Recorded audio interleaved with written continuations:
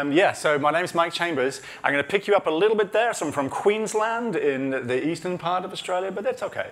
Um, yeah, very happy to be here. So I'm a developer advocate for Amazon Web Services, um, and I completely and utterly and only and totally uh, spe uh, specialize in generative AI. Used to be machine learning, now it's generative AI. Um, I'll be talking about why this slide is up here in a moment. Any tabletop RPG players in the room?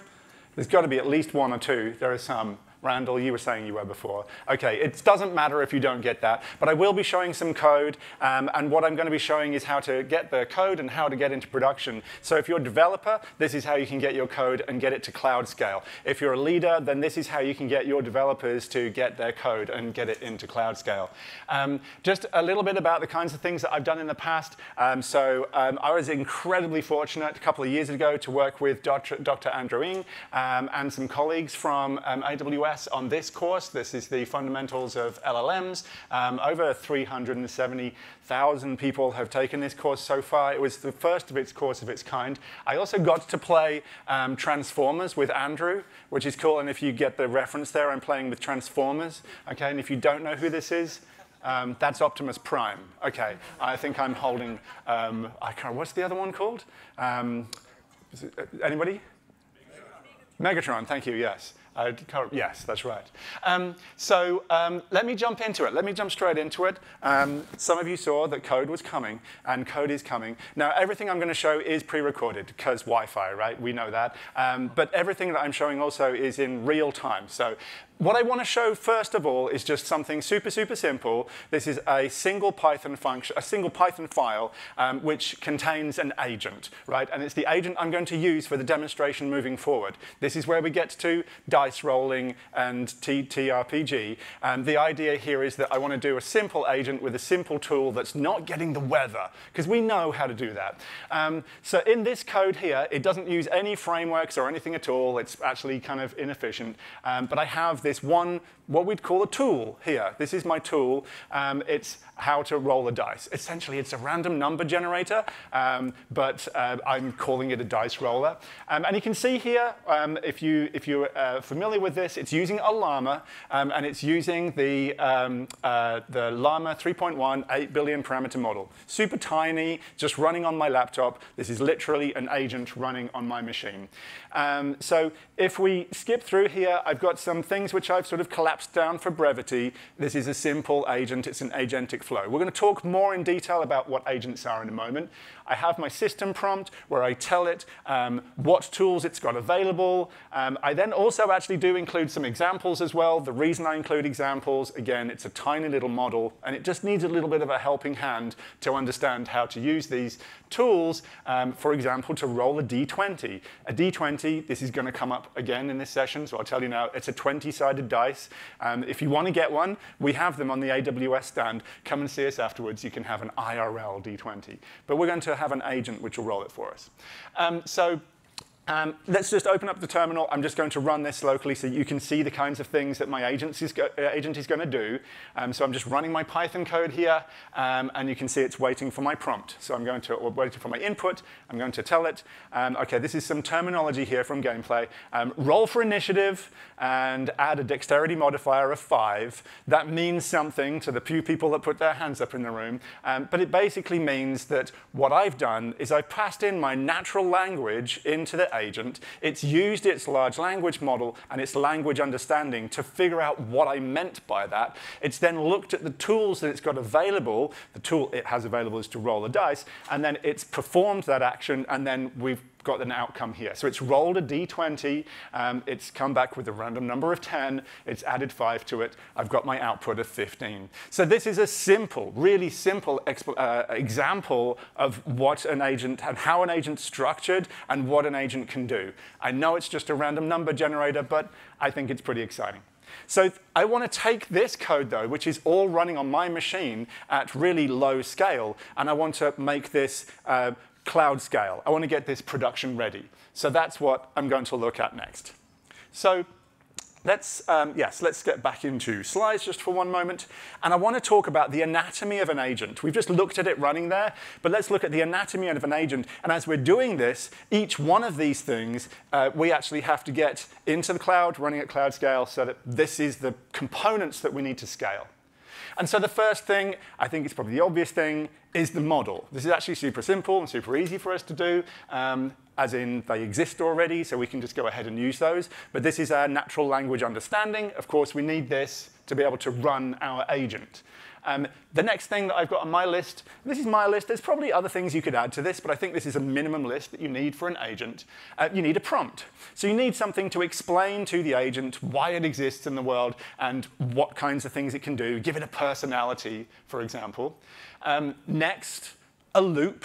So this is the agentic loop. So this is the ability for the agent to be able to um, think, essentially. So it, it looks at the input, and it can then process that input. It then needs to go and use a tool. But then it needs to evaluate whether that tool actually answered the question or not. It needs to figure out if it needs to go and run another tool. It needs to loop around. It really is nothing much more than a, a while statement, if, while, whatever, with some strings flowing around. A lot of this stuff is just string manipulation, but we need that to be hosted and, and cloud scale.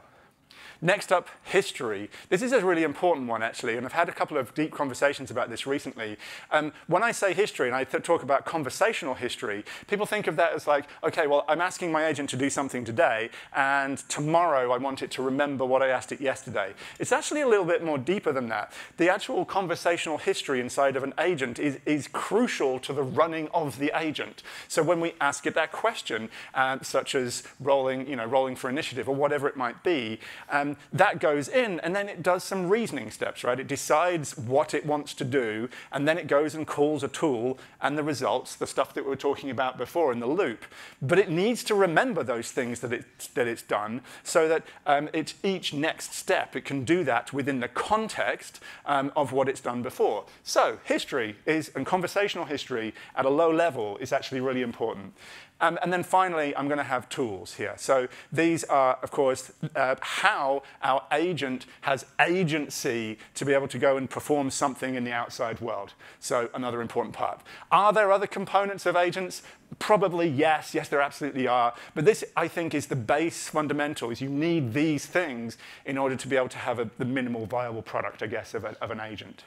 So I'm here from AWS. Let me tell you about what AWS can do to host these agents at cloud scale. The first one, I mentioned it before as being easy. Obviously, anybody who works for a model laboratory would say actually making agents, uh, making models is actually kind of tricky, but they've done it for us, right? So the models exist. We've got Anthropic, we've got the Amazon Nova model, and this icon here represents Amazon Bedrock. So Bedrock is a suite of capabilities that allow us to be able to build uh, generative components into the applications that we're building. So we can just take these components, slot them in, and build something. We have models from a number of different leading providers, Amazon, like I said, Anthropic, Meta, Mistral, um, AI21 Labs. We have a number of different models available. You can plug them into your system. So that's the kind of the easy bit. Um, let's now build up the actual agent itself. And so for that, I have Amazon Bedrock Agents. And Amazon Bedrock Agents is fully managed. There's no infrastructure to manage with this. You can just put your configuration in, and it will be cloud scale. So the answer to the question that I'm here to answer is actually really straightforward. We're just going to go and use this service. Now, inside of that, we have uh, the configuration that we're going to have for our agent. Now, um, I have put here instruction. Instruction is the terminology we use. This is, again, the personality of the agent. It's a bit like the prompt. It's not quite the prompt because it gets combined with a prompt template to be the actual prompt, but this essentially, for all intents and purposes, is our prompt. That prompt template, by the way, if you're interested, you can absolutely go and edit that if you want, but you get delivered a default prompt template with the model that you've selected. Um, then we need to have, well, all of those things I talked about with the, the loop and the history, conversational history, it's all taken care of, so that's all just inside of the service. But then from our configuration standpoint, the next thing is the action group. So this is where we connect into tools. So an action group is a collection of tools. That's what you can see that as. I've got a couple of different action groups here just to show that you can have more than one. We only need one because I only have one dice rolling tool. Um, and you see in the middle here, we've got Lambda. So hopefully you're familiar with Lambda. It's a, a function as a service. It scales super well. It handles that scaling for you. It's just the way the service works. And it's a perfect place to host these kinds of tools. And therefore, your tools can do anything that Lambda can do, which is, I mean, I'd be interested if you can find a use case that Lambda can't do. There are some, but anything, anything that your code can do in there, um, your tool can do, including reaching out to the outside world, reaching to other AWS services, sending an email, launching a rocket, whatever it is that you want to do. Actually, I'd really like to see launching a rocket. So I say that from time to time. We need to go do that. We need to build that. So I've whistle-stop toured through those components. The important things to remember there are the action groups, really, because that's maybe terminology you haven't come across before. Um, so now I'm going to dive into the console, and we're going to build this. Again, this is all real time. I'm advancing it forward with my clicker, right? But, but in between those things, it's all real time. There are some people in the room that are now saying, well, hang on a minute, you were saying ship this to production. I'm not going to ship to production with ClickOps. That's awful. And you're right, it is. And so all the things that I'm going to show you are all possible as well with Terraform or Pulumi or CloudFormation or SDK or SAM or whatever infrastructure as code framework that you want to use. So bear that in mind, but I'm showing you in the console because it's easier to look at. All right, so what I need to do is just, uh, I'm at the Amazon Bedrock part of the AWS console page. I've gone down to agents on the bottom of the left, or the down on the left-hand side, and this next little part's going to be very bouncy ball kind of easy stuff. I'm going to click Create an Agent. OK, so then I get to name it, and I get to give it a description so that six months from now, when I go into my console, and I'm like, what was that agent for? I say, oh, that's what that agent's for. So it's always a good idea to use descriptions in anything you do inside of AWS. So um, I'm saying it's an agent to help me play tabletop RPG. If those are the questions you have, by the way, we definitely go to the booth afterwards. We can talk a lot about this kind of stuff. Um, so I've got that set up. Um, I scroll down, and you remember one of the pieces of configuration that we needed was to connect it to our model. And so I get to choose models here. I've got the Amazon Nova models. I'm going to select the Anthropic um, Haiku 3.5, 3.5 Haiku. Um, it's a small, it's a capable model, it's fast, it's probably more than we need for this very simplistic um, agent, but it's a good one. And so here, I'm adding in those instructions. If you remember before, the instructions get combined with the template to become the actual prompt. So you're a games master who can help me play tabletop RPG games. That's probably what you're going to take away from this, right? Everybody's going to go away and start playing um, these games. Um, so I've defined what I want my agent to be. So I click Save so that I've got it ready to go. And the next thing I have to do is action groups. So once we've done that, yes, so we, go, we scroll down to action groups, and this is where I'm going to connect in my logic with um, the code execution that we were talking about before. So let's click add. Guess what? It wants a name and a description. We're familiar territory here. Um, and so we can give it this description. Now, these descriptions are read by the large language model so that it can figure out what this tool is for um, and this is sort of this new paradigm of programming, right? So in terms of definitions and schemas for how these things work, we actually write in natural language in here so that LLM can read it and figure out if that's what they want to do or what that's what they want to use. So we've got our action group as a whole. Now let's go and add in the actual code. We have a few different options here. And this option here is recommended one, which is to use Lambda, which we saw in that diagram before. Also, with this quick start here, it'll set up the Lambda function for you. It'll do all the, uh, the permissions for you, um, and it will hook it up to the agent for you. So it's a really quick way to get started. Definitely recommend using that. Um, and now we come down to define the actual tool itself that we want. This is my dice roll or my roll dice. I, can, I flip between the two. This one's going to be called roll dice. And again, we're giving it a description. This description is important because it tells the LLM what, uh, what this does and whether it wants to use it or not. Um, and so it's got you know, roll the dice with a certain number of sides. So we need a way to pass in those certain number of sides. This was all in the code before as well. Um, and so if I scroll down here, I get the parameters, and I get to, again, just describe these parameters that I want. Just expanding this out because I'm zoomed in for the screen's sake. Um, and I get to add in my parameter, And guess what? I give it a name, and I give it a description. And again, the description is something which is read by the large language model. We're following the pattern here, right? So it knows what this is for. Um, and I'm going to set this up as an integer value because I only have a, uh, a you know, an integer number of sides on any dice. Um, and I'm going to say it's required. I need this to be there. I need to tell the model that if you're using this tool, you must provide me with an integer for that. OK, and now I'm going fast but I'm respectful of your time, and I want to show you this working. So let's click Create. Again, this is real time. It's going to go ahead and build that Lambda function for me, integrate the permissions for me, and have everything set up. And so once I save this and scroll down, I can get back to my action group, dive into my action group again, and what I have inside of there is now a link to the Lambda function. So code's coming back, and we just need to put this logic into our Lambda function so it can work for us. Now, I'm going to do a little bit of quick and dirty here. I'm going to take the boilerplate that it provided for me, and I'm just going to whack in some um, function to allow us to do this dice roll.